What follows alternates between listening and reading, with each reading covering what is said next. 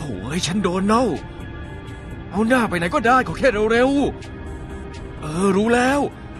ถ้ามีเรือแล้วรีบโทรมาบอกนะแค่นี้แหละนี่ ใครจะไปจากฮ่องกงเฮ้ยเหรอยายหลอกไปแล้วนี่ เอ้ยแค่งีบเฉยๆ ใครจะไปจากฮ่องกงเหรออาเหยาไม่อยู่ฮ่องกงแล้วครับอายเหยาแล้วเขาไปไหน เขาไปเมืองเมืองไทย เมืองไทย เขาไม่ชอบกินต้มยำกุ้ง จะไปเมืองไทยทำไม เออเกาหลีก็ได้ เกาหลี นี่เนี่ยโอ้โอ้ยเดี๋อยวย่าก็อย่าเมืองอไทย่ายดึเดี๋ยวงก็หูอเกาย่าหลีดึงหูนายหลอกฉันอยู่ฟังใช่ผิดไหมผมก็พูดผิดก็ได้อะจอดรถจอดเดี๋ยวนี้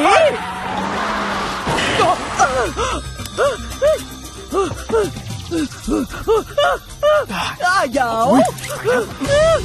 อย่าวิ่งคุณยายไม่ต้องวิ่งอ้าเหยากลับมาก่อนเอา เฮ้ยโอ้อุ้ยไหลตลกเลย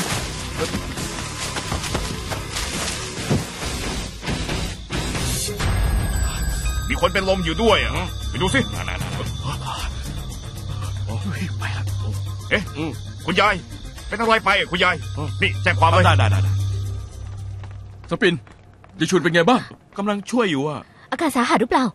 เห็นว่าไม่ค่อยสู้ดี อาจจะอันตรายถึงชีวิตทำไมเป็นแบบนี้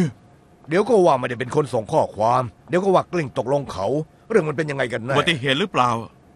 คนแจ้งความว่าไงบ้าง พวกเขาไปปีนเขาตั้งแต่ยังเช้ามืด แล้วก็ได้ยินเสียง แล้วก็เห็นยายชุนกลิ้งลงเนินมา ตอนนั้นมีคนอยู่แถวนั้นไหมพวกเขาบอกว่าไม่รู้ ตอนนี้อาเหลินกับอาเจิ้นไปที่เกิดเหตุ หาคนที่น่าสงสัย นายไปช่วยอีกแรง มีข่าวแล้วโทรมาบอก รับทราบ เขาไม่ไปที่นั่นหรอก น่าจะโดนจับไปเรียกค่าไถ่จริง ๆ ไม่หรอกพ่อ ไม่มีโทรศัพท์เรียกเงิน คนที่ส่งข้อความให้ผมเป็นใครกันแน่เรื่องนี้แปลกมากเลย โดนัลด์ขอรับสายก่อนนะ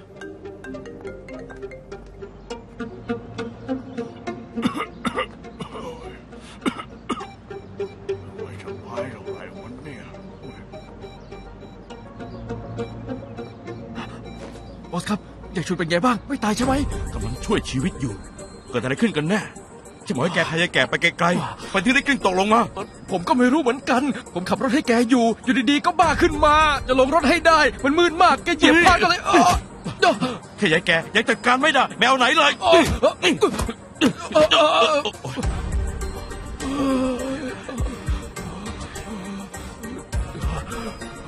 เฮ้ยบอสคนเยอะแยะนะครับเฮ้ยทำไงต่อดีทำไงต่อ ภาวนาให้ยายตายฟื้นขึ้นมาไม่ได้ ถ้าฟื้นขึ้นมาฉันต้องตายเป็นเพื่อนนาย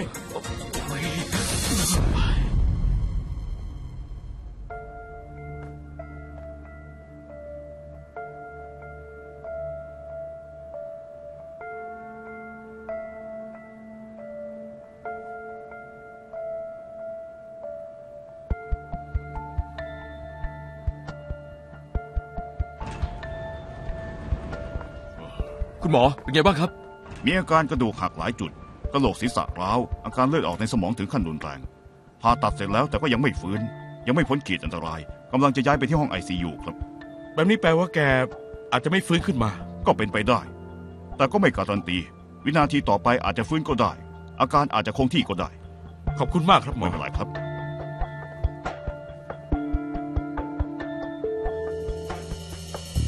เรารอกันทั้งวันก็เหนื่อยแล้ว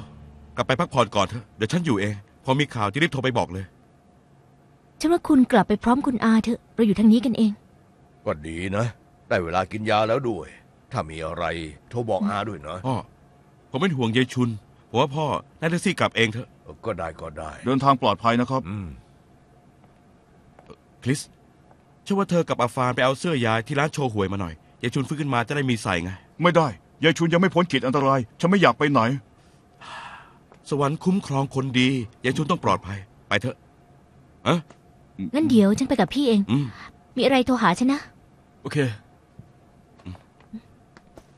หมดเกาคุณก็ไปพักเถอะเดี๋ยวผมอยู่ที่นี่เอง ไม่ได้ มันเป็นหน้าที่ ผมจะไปไอซียูก่อนนะน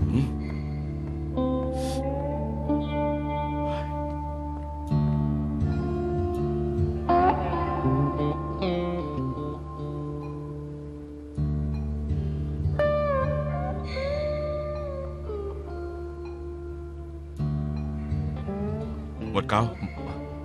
ขอบคุณครับ จริงสิ ลูกน้องของหมวดสืบได้อะไรบ้าง ไม่เลย